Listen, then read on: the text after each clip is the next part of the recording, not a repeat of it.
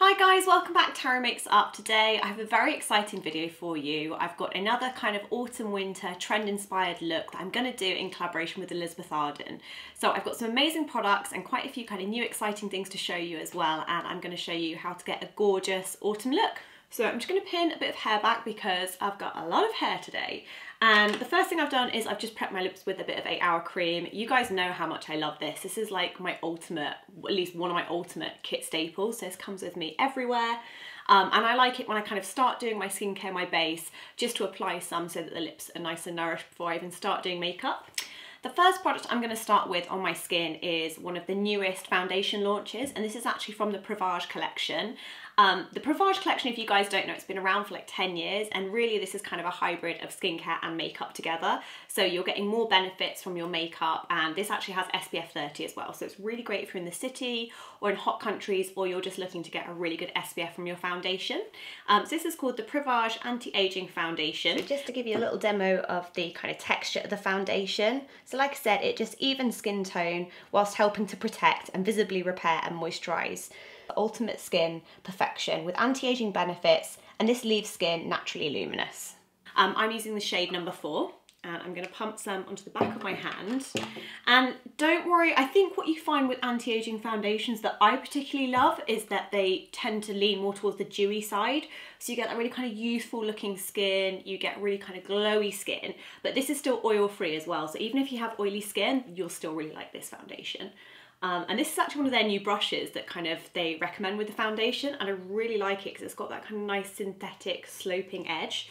Um, and this foundation, like I said, it's very sheer, but kind of buildable in coverage, yet still long lasting. So if you like your foundation to feel very weightless on the skin, um, but still have that kind of nice dewy glow, nice your skin but better look, then I think you'll really like this foundation. And like I said with this, you know, the important thing to remember is you've got your kind of skincare benefits within your foundation too. So you're kind of multitasking and it's really good if you're in a rush as well. I think you can kind of maybe skip certain skincare steps and just go straight onto your foundation. And even though it says anti-aging, I think no matter what age you are, anti-aging foundations generally are a lot more kind of flattering because they have that kind of youthful finish. So you get a little bit more of a glow, a little bit more of a kind of your skin but better look. So I'm going to do concealer last because I want to do my eyes first. So for brows, I'm going to use um, Brunette. This is the Beautiful Colour Natural Eyebrow Pencil in Brunette and it's got kind of a really nice fine nib and the spoolie. So I really like the fact that it's nice and easy to use. My brows definitely need a bit of grooming at the moment. And I'm just gonna add in a little bit more shape. I'm just using a very light hand. And just keep kind of grooming through as you go along. That's a good way just to kind of use the same direction as the hair. And just add in a little bit of shape as you go. I'm just pulling it out to elongate the eye slightly. So I'm going to use this gorgeous eyeshadow called Truffle on the eyes, which is going to give more of a matte look to the eye and a little bit of shape and definition. So I'm just going to take a fluffy brush and I'm just going to pop that all over the eyelid. And I'm just going to take that kind of up to the socket and then blend. And this is very, very silky. It's got a nice kind of, again, long lasting, easy to blend. So I'm even just using the same brush to kind of blend it out as I go. And then I'm also going to take that under the lower lash line as well more on kind of the outer third, but just to give it a bit of extra shadow. And don't worry if you go down too far because we're going to conceal last anyway, so it gives us a nice chance to kind of tidy up as you go. Now you guys know me, I love a brown eyeliner, whether that's a brown kohl or a brown gel, brown gel liner. And this one from Elizabeth Arden, the beautiful colour Bold Defining 24 Hour, is a gorgeous like shimmery bronze. So in taking that liner, I'm just going to take that across the top of the eyeline and I'm going to take it all the way along but I just want it a very very thin line and not going to flick it up this time. So I'm just going to do it so that you get a little bit of extra definition at the roots. And then it's just going to stop at the end of my lash line so that it stays very natural and it's just going to give a slight bit more definition. And then I'm going to use one of the kohl pencils. Now these are loved by makeup artists, not only myself, but I also know that uh, the likes of Mary Greenwell are huge fans of this eye pencil. And this is the Smoky Eyes pencil and I love the colour Espresso. Again, you guys know I love a dark brown and this is matte. So I'm now just going to take this into the waterline just so when I curl my lashes, there's not kind of a gap. And again, I'm just making sure my lashes look really full. So I've just given my lashes a quick curl and then I'm going to move on to the Grand Entrance Mascara, which is in black. They do a really nice brown shade as well. I nearly went for brown, so I think if you wanted a softer look, again, you could use brown, but I'm a sucker for black mascara. So I am just going to intensify my lashes. And this gives quite literally a grand entrance. I definitely find this gives me extra lashes and extra length. So I'm making sure as well, right in the roots, I kind of get stuck in. And it's almost got like a plasticky comb, so it's really good for separating as well as creating volume. And then with what's left on the brush, I'm gonna do a little bit of definition on the lower lashes too. And if you wanted it super fine, you could even take a little bit of excess off in a tissue. But I find because it's a plastic comb, it just separates the lashes nicely without kind of going too cloggy. So then I'm going to move on to concealer and for this I'm going to use the Flawless Finish Maximum Coverage Concealer and I'm going to use the shade Light which is number two. Um, and this I'm actually just going to do it with my fingers. I find this a really nice emollient concealer um, but again as the name would suggest it's great for kind of putting not just under the eyes but around any redness so I'm going to just blend that around my nose as well. And this is where I can even use the double end of the foundation brush just to kind of soften that in and again, if you find that kind of doing anything under your eye gets messy or it looks too smudgy, this is where you can just cheat with your concealer. So just use it to lift up slightly and just give more light to the face. And for me, I love having a sheerer foundation that's more about kind of luminous, dewy skin and then just doing the work with my concealer where it's needed. So anywhere that I do need more coverage, just using my concealer. And I'm an absolute huge fan of the Ceramide Cream Blushes. These have been in my kit again for kind of the past two months and I've been loving them. And I'm torn between two colours. I've got Plum here, which I think if you had a darker skin tone would be beautiful with this look. But I think today I'm going to stick with the one that I keep going back to, which is Nectar. So that's this kind of colour. It's a little bit lighter, but it's still got that nice kind of peachy apricot tone to it. And I'm going to use the brush that I use for the concealer.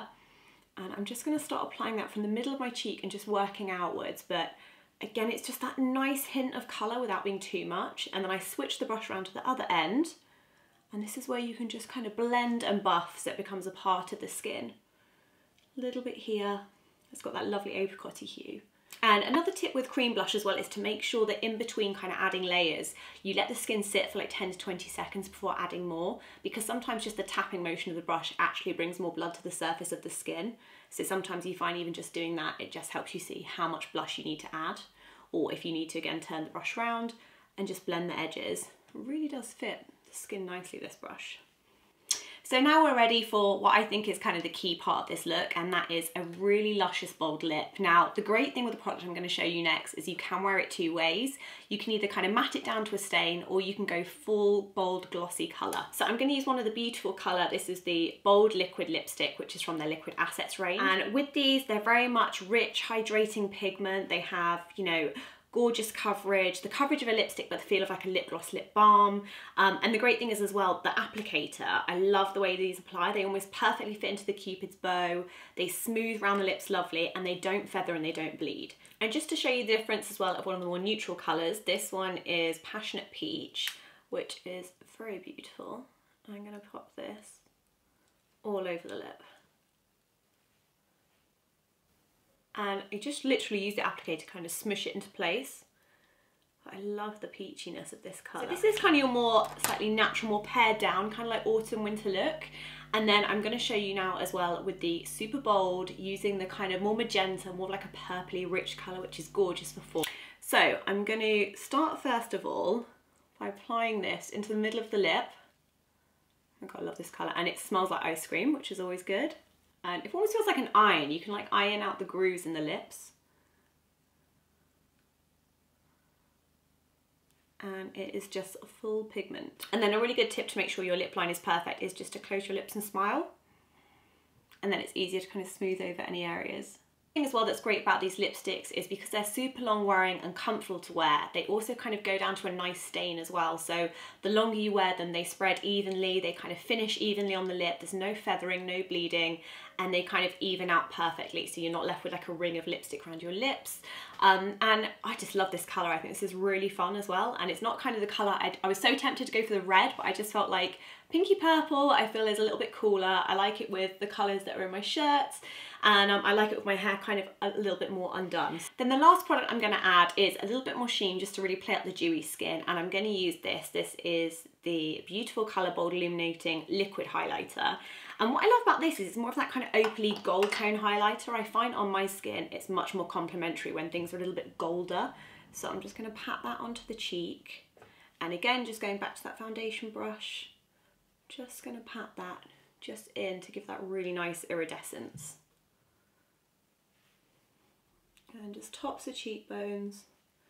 And I'm going to put the tiniest amount of that as well on the inside corner of my eye just to brighten.